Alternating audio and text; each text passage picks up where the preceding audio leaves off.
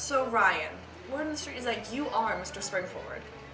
Well, you see, to be Mr. Springforward, you gotta be athletic. You have to get good grades. You have to be good with the ladies. You have to be a gentleman. And I can't remember what the other thing is because this freaking light is in my face.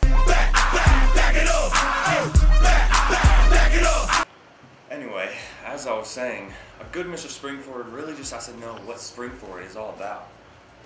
So what is Springforward really all about? Well, you see, to be Mr. Springforward, you gotta look fresh. Yes.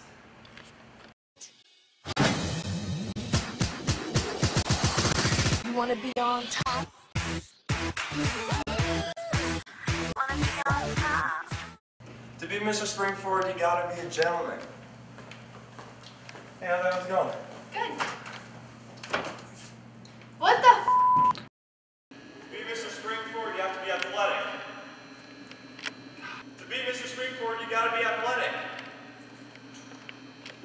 To be Mr. Springforward, you gotta be athletic.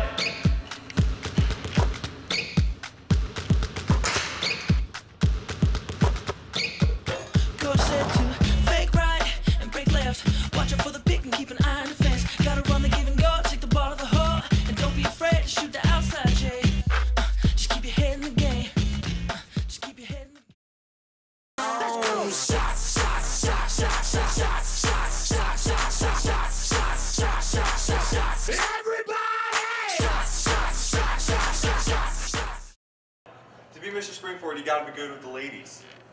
Ladies. Hey, babe. hey, babe.